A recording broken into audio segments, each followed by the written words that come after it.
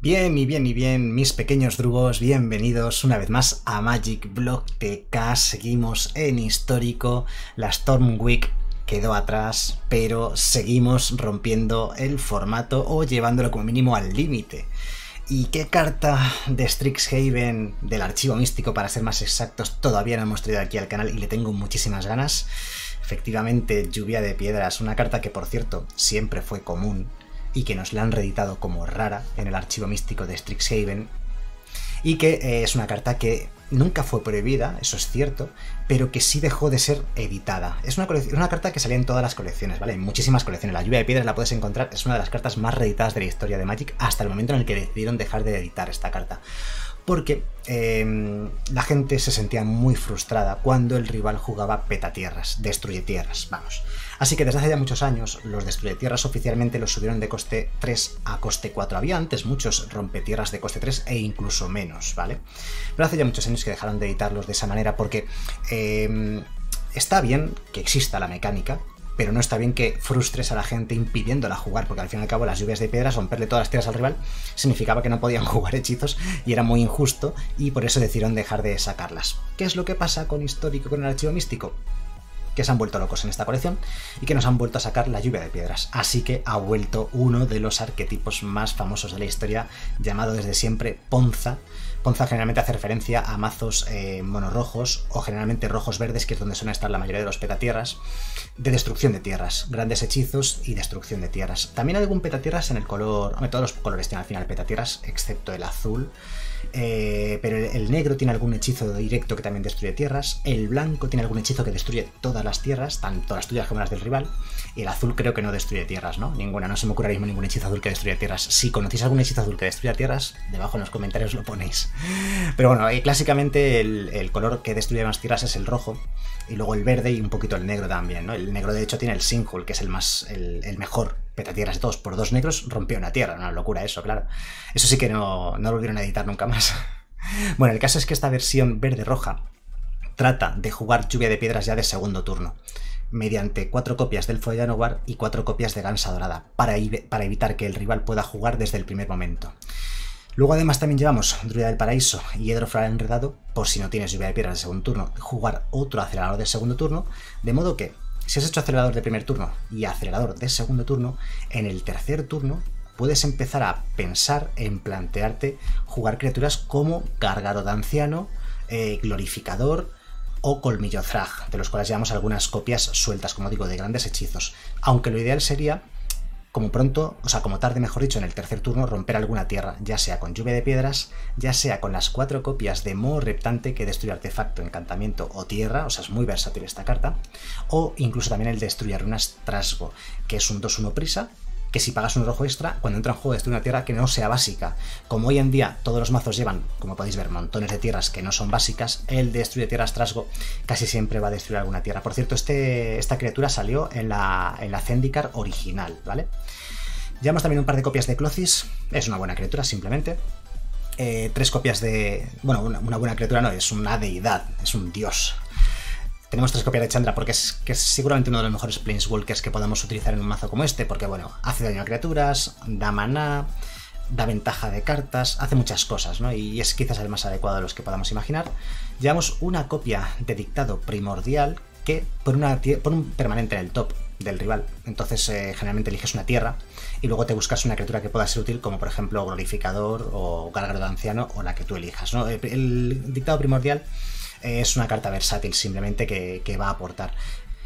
Por cierto, este mazo está funcionando, ha ganado ya torneos importantes y en ranking, en mítico, está también funcionando. ¿eh? O sea, no es una invención, no es un meme deck, no es un chiste, es un mazo que está funcionando, está haciendo top 8 en torneos importantes y está haciendo rangos altos, altos de mítico. ¿no? Por último, bueno, las tierras ya sabéis que no os comento nada sobre ellas. Por último, lo que, la única carta que no os he comentado es esta demoledora Colmillos de Sierra por 4 de maná la mutas. En principio no la vas a jugar por 6, porque por 6 es un 6-6 arrolla. No tiene utilidad, eso no es bueno. Para eso te metes Boringplex, si quieres un 6-6 que arrolle por 6. Pero no, esto es mucho mejor, porque por 4 lo mutas, conviertes tu gansa dorada en un 6-6 vuela arrolla, ¿vale? Y además cuando mutas, destruye una tierra objetivo. Así que tienes un montón de destruye tierras en este mazo. Eso sí, bueno, cuando destruye la tierra el rival pone un 3-3, pero mira, mi 6-6 arrolla vuela es bastante mejor que su 3-3, así que suele merecer la pena darle un 3-3 jugando esta demoledora colmillos de sierra, ¿no? Bueno, pues este es el mazo. Vamos a echar unas pachanguitas a ver qué tal va. Os dejo como siempre debajo del vídeo en la descripción el listado completo del mazo, exportable a Magic Arena y lo probamos. Seguramente sea un, mejor, un mazo que sea mejor en Best of 3 que en Best of 1. O sea, con un buen banquillo bien preparado para enfrentarte a las segundas y terceras partidas contra casi cualquier mazo. Porque yo le veo debilidades, por ejemplo, de base, un mazo rápido de criaturas te come, no llevas nada de defensa ni ningún hechizo que te permita hacer daño directo a las criaturas del rival o algún tipo de daño para, matarlas, ¿no? Quizás habría que planteárselo. Algo, algo. Saliendo del rival, esta mano es bastante lenta. Vamos a hacer mulligan. Vale, esto ya cambia porque al menos ya tenemos aceleradores de mana. No es que sea mucho mejor la mano. Voy a quitarme la gansa dorada. Me voy a quedar con el elfo Yanowar porque el elfo Yanowar da, da, mana durante varios turnos. En cambio, la, gansa no. Ya sé que la gansa mutada precisamente va y sale el, bicho de mutación. Es mucho mejor porque vuela, pero bueno, tampoco perdemos tanto, ¿no? Pues en el tercer turno podemos o mutar o jugar destruir nuestro lo que más nos guste. Azul negro. Hmm. Grixis, azul, negro, rojo. No sé a qué nos enfrentamos todavía. Búsqueda Azcanta, vale. Vale. Como hacer un daño extra, nunca viene mal. Voy a atacar con el elfo Yanowar. O sea, podría haber jugado tierra girada y haber jugado la druida del paraíso con el mana del elfo, pero bueno. Vale, se tira al cementerio una sed del jefe de sangre. Eso pinta muy mal. Huele a que tiene tanto removal en mano que le sobra el, el láser del jefe de sangre. ¿Vale? Pues vamos a pagar aquí dos vidillas. Aquí es, voy a jugar esto porque es probable que el rival tenga algún algún contrahechizo, ¿vale? Huele a que nos va a contrarrestar este de ruinas trasgo. No, no lo destruyes, ¿vale? Pues te vamos a romper el azul rojo, yo creo. Dado que negro tiene por aquí, es lo más adecuado, le quitamos el rojo. Inspiración súbita, ¿vale?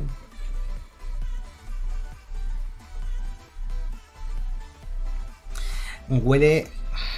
Bueno, lo que pasa es que, a ver, si tenía algún removal masivo de coste 4, el siguiente turno no lo va a poder jugar. Y a lo mejor nosotros sí metemos ahora la, la, demoledora, al siguiente turno. Pues pegamos de 4. Ojo que este bicho es un 2-1 prisa que también mete presión, ¿no? Vale, tira un counter al cementerio. Bueno, es un counter o busca o manipulador de biblioteca. Tierra girada otra vez. Le ha fastidiado, yo creo también el tema de las tierras giradas. Vale, amigo, pues vamos a... Voy a pagar tres vidas. No me importa pagar tres vidas. Vamos a mutar... Podemos mutar sobre la druida del paraíso. Voy a mutar sobre la druida porque en respuesta no puede matarla, dado que ya tiene antimaleficio. Vale, pagamos uno con el Elfo Jaguar. Rompíamos. Teníamos censurar, ¿eh? me, ha pillado un poco por sorpresa ese censurar. Pero precisamente no le valía, porque teníamos mana de sobra, que teníamos aceleradores de mana. Bueno, pues ha salido él, y a pesar de eso, nuestros aceleradores y el mulligan que hemos hecho muy acertadamente, habernos quedado esa mano, que no tenía aceleración y salía el rival, no habría sido buena idea, habríamos perdido seguro. Ya le habríamos dado el tiempo a organizarse esos contrahechizos, nos impedía jugar los hechizos grandes en los momentos adecuados y ya no, ganábamos. Yo creo que tenía un removal masivo. Por eso se tiró al principio ese, ese anticriaturas pequeño. Y no le hemos dejado jugarlo porque le hemos roto las tierras. Y luego venía un glorificador, ¿eh? Desde el top, además. Vale, en, este, en esta ocasión salimos nosotros y tenemos turno 2, turno 3. O sea que está bien. Tierra girada, primer turno, Además, la druida sabes que no te la puede matar, porque tiene antimaleficio.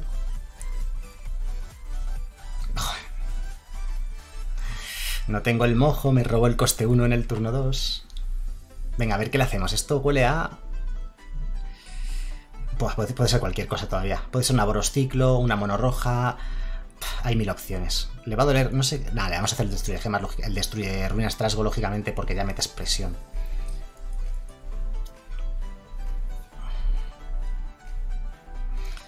Aunque la demoledora esta mola, también tener un 6-6. Lo que pasa es que bueno, le pones un 3-2 al... Oh. Creo que es una monored de hechizos, una monored spells. Aún no lo estamos seguros llevar a Fénix, eso seguro, porque lleva aquí Buey de Ágonas. ahí está, me lo estaba imaginando. Podemos matárselo ese bicho.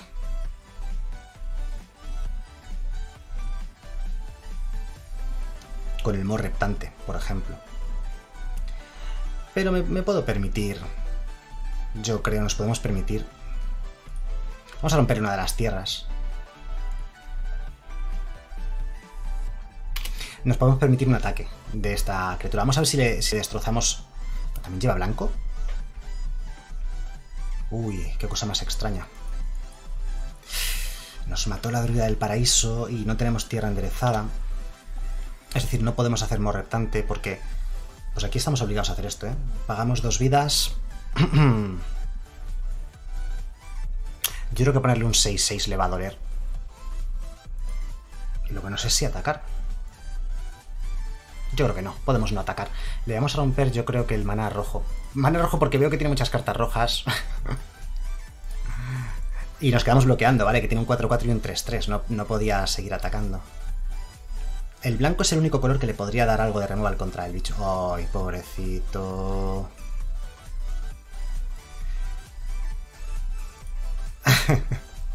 Vale, ahora entendéis por qué los petatierras eh, quisieron un poco quitarlos del juego de Magic. Dejaron de editarlos o los editaron mucho, pero diréis, este, pero esto es un petatierras de coste 4, ¿por qué, ¿por qué sigue pareciendo bueno si son petatierras de coste 4?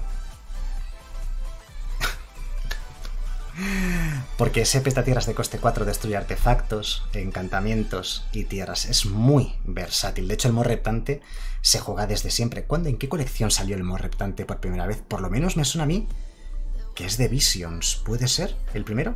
De aquellos años, o de, aquella época, más o menos. Hablo de finales de los 90, o mediados de los 90, finales de los 90.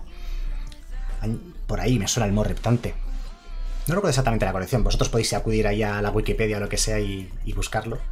Pero ahora mismo hablo un poco así de memoria, pero ya sabéis que me encanta hablar de memoria. Pues el Morreptante es buena carta, le hemos matado su 4-4 con nuestro Morreptante, como ese artefacto. Y el rival ha hecho bien en rendirse porque, a ver, nosotros ya no teníamos mucho más, pero él no tenía tierras, entonces, ¿qué más da? Yo lo miro cuestión de tiempo. En cambio, uff, y a esta mano sale el oponente además.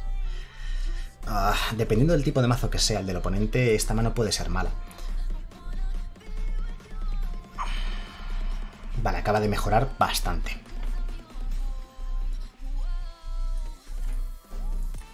Acaba de mejorar bastante porque ya tenemos una jugada buena de tercer turno. Y los dos eh, los dos colmillo track. ¿What? Esto es bastante sorprendente.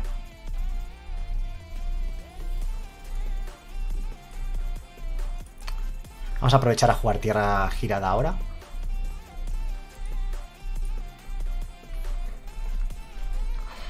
Los colmillos Zraj aquí van a ser claves. Me da un poquillo de miedo que esto crezca más de lo que podamos uh, aceptar. Y Dorat.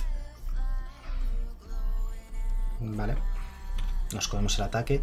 Quizás aquí... No sé si jugar primero el colmillo Zraj, ¿eh? Uh, madre mía. O mutar.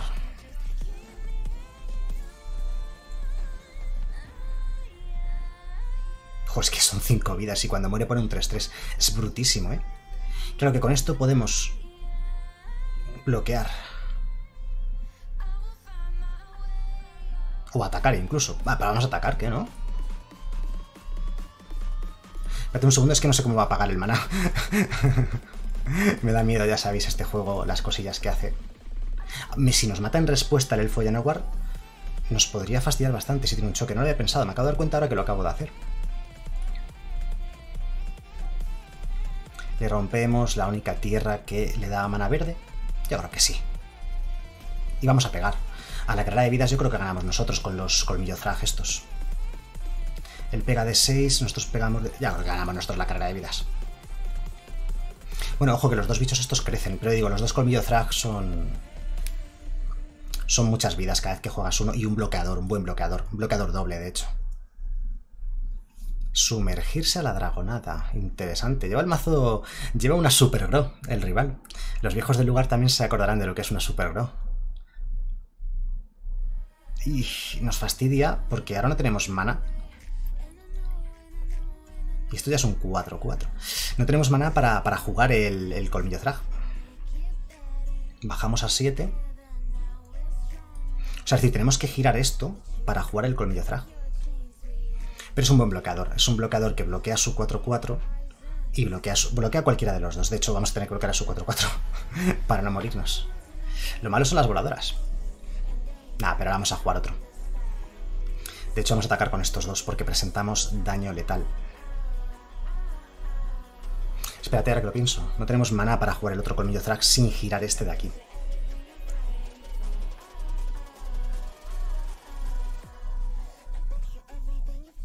Vale, atacamos con los dos, representamos daño letal tiene que bloquear al menos uno, que nos deja un 3-3 que puede bloquear a su 4-4. Y ahora la cuestión es, podemos jugar Chandra y matarle esa dragonada. Le quedan solo 6 de vida, o sea, él tampoco te creas que... Nos puede ganar, ¿eh?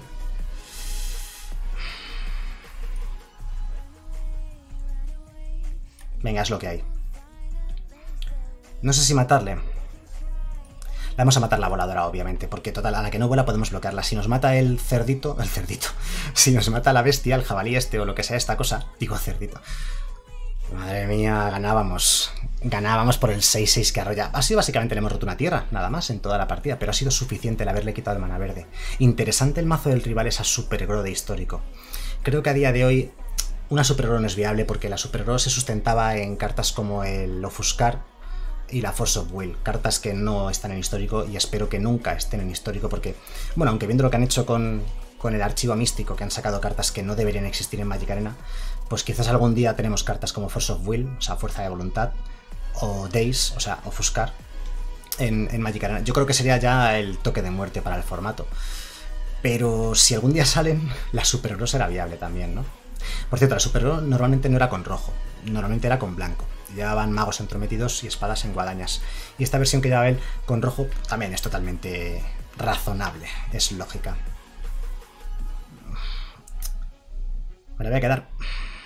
Esta mano no es buena, esta mano es de perder, porque esta tierra entra girada y esta, y esta tierra nos cuesta tres vidas. Y si es un mazo agresivo, que lo es, lo vamos a pagar caro. Salvo que nos top de que hemos un bosque que hace que la otra tierra también entre enderezada. Aún así, nos gana, ¿eh? Los mazos súper rápidos eh, ganan los mazos petatierras. Porque cuando tú lanzas tu petatierras, ya es tarde, ya no hace nada el petatierras. O sea, no es la primera vez que veo una situación de este estilo. Como ha salido él, cuando tú empiezas a romper tierras, él ya te ha dejado a 5 de vida y tiene 3 bichos en mesa, ¿no?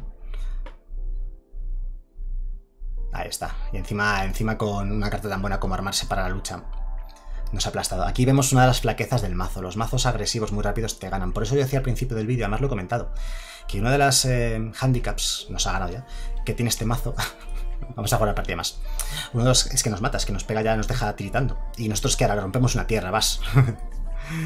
Eh, una de las desventajas que tiene este mazo es que yo le veo le falta algo de, de defensa. Algo, lo que sea, pero algo de defensa. No quiere llevar Iras de la tormenta no quiere llevar hechizos que hacen daño a todas las criaturas porque te matas las tuyas, que llevas muchas.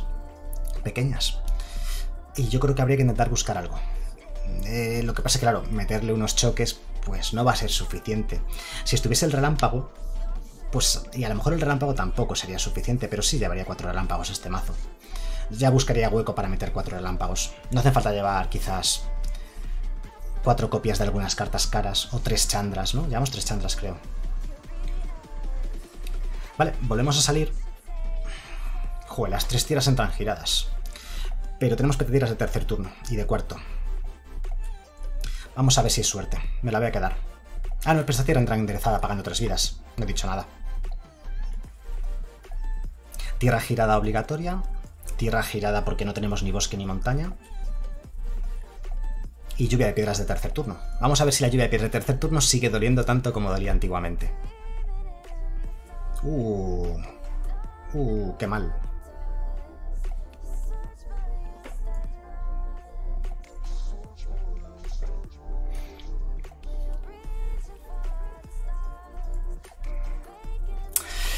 Es que si no fuese una montaña lo que tenemos delante, habría jugado en el Follanawar. Pero es que jugar en el Follanawar contra un mazo con rojo es que sabes que te lo van a matar.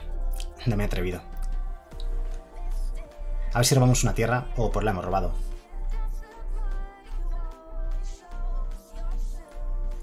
La hemos robado. Yo a piedras a tu tierra azul. No me sorprendería que el rival se rindiese. Es una, es una Fénix. Es una Izet Fénix. Y ahora viene el destruye gemas. Esta tierra es no básica. No me extrañaría que después de este destruye gemas... Destruye ruinas, perdón, siempre digo destruye gemas. Destruye ruinas se rendiese. Si no se ha rendido todavía es porque ve alguna esperanza. Pero vamos a volver a romper ahora el mana azul otra vez. Aquí pagamos tres vidas. Destruye ruinas trasgo, que luego el siguiente turno le vamos a poner la demoladora de colmillos encima rompiéndole posiblemente la última tierra que le queda. Sí, inspiración súbita, inspírate, busca más tierras. Pero... Pero el siguiente turno es, una tierra menos y un 6-6 en mesa. Y sí, tú vas a tener tu 3-3, pero mi 6-6 carro ya pega bastante más. Que me acuerde de pegar antes con el Destruir Ruinas de jugar esto. Por cierto, esto destruye cualquier permanente. O sea, no, no solamente...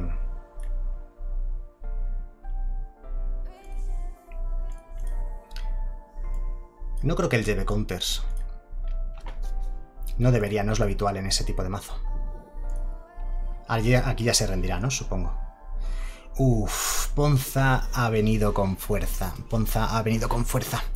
Yo creo que lo malo que, que en un metajuego agresivo como suele ser el de histórico, ah, yo creo que o sea, para el ladder, para el ranking normal de Magic Arena de histórico, yo no jugaría este mazo porque te vas a encontrar con mazos mono reds que te aplastan, elfos que te aplastan, mono blue tempo que te aplasta, muchos mazos que te van a poner problemas. En cambio, es que este mazo, ¿sabéis por qué va bien? Va bien contra. Va bien en torneos competitivos serios. O en Best of Three, en Mítico, porque la gente juega mucho más eh, otro tipo de mazos que no son tan planos ni tan rápidos, quizás, ¿no? Eh, ¿Qué mazo nos ha ganado antes? El mazo súper rápido, que nos ha pegado una paliza que ni yo hemos visto, ¿no? Y eso en los en histórico, en Ranked, en Magic Arena es muy habitual, pero luego en torneos más serios es menos habitual. Y este mazo yo creo que va a ir bien, por eso está triunfando, este mazo está funcionando bastante bien en Mítico, está funcionando bien en torneos que ya ha hecho buenos resultados, y está llamando tanto la atención, porque es un gran mazo. Así que bueno, ya sabéis, la vuelta de Ponza, y como saquen algo más, que sea de romper tierras, que sea útil, apaga y vámonos. Bueno, espero que el vídeo os haya gustado y nos vemos en el siguiente. Hasta luego.